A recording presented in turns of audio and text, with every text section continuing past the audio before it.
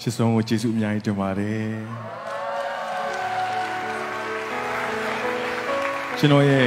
အနေအမြင်အတက်အကျတိုင်းမှာကျွန်တော်ယုံကြည်သူဖြစ်လာပေမဲ့လည်းဝိညာဉ်ပိုင်းဆိုင်ရာမှာမရင်ချက်ပဲနဲ့ ခဏခဏလဲကြတဲ့အချိန်တွေရှိတယ်ခဏခဏပြန်ပြီးတော့မှဒူးဆိုင်တကိုပြုံးမိခဲ့တဲ့အချိန်လည်းရှိပါတယ်ခါကျရင်စိတ်တဲ့အရန်ကြပြီးတော့မှအသက်မရှင်ခြင်းလောက်အောင်ဖြစ်ခဲ့တဲ့အချိန်တွေသိရှိပါတယ်ဒါတွေအကုန်လုံးကိုသိတဲ့သူကတော့သူကိုယ်တိုင်ပဲဖြစ်ပါတယ်သူကပဲကျွန်တော်ကိုဘေးနားမှာအနည်းဆုံးရှိပြီးတော့မှကျွန်တော်လက်ကိုဆွဲကိုင်းပြီးတော့မှကျွန်တော်ကိုဖျားနဲ့တမန်တရားလမ်းထဲကိုအနီးကပ်